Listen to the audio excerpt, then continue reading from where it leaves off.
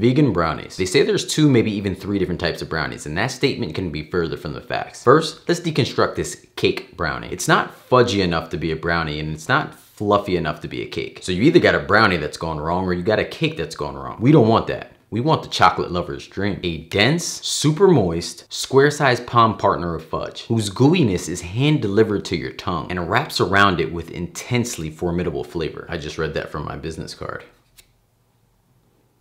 All that and the aesthetically pleasing cracked and shiny top without the electric slide thing going on where it dips down in the middle. The perfect vegan brownies. Let's go.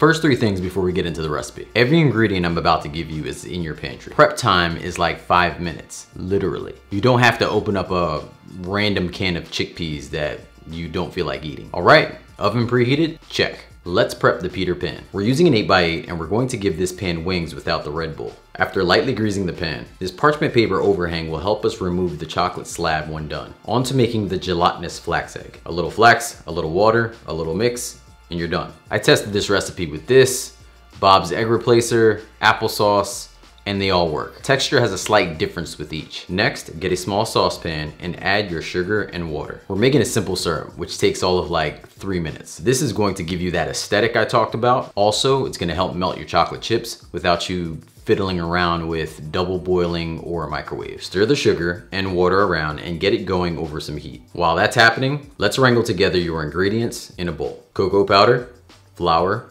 espresso powder. This is optional.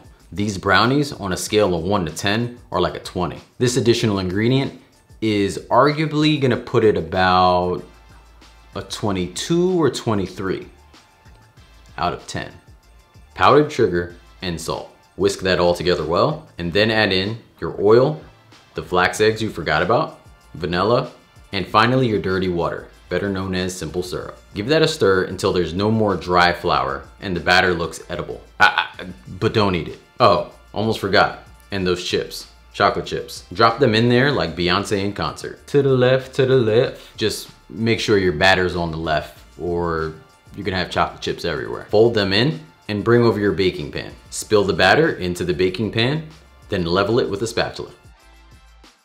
Now, onwards to the oven. This was so easy, and about a half hour later, it's time to get the party started.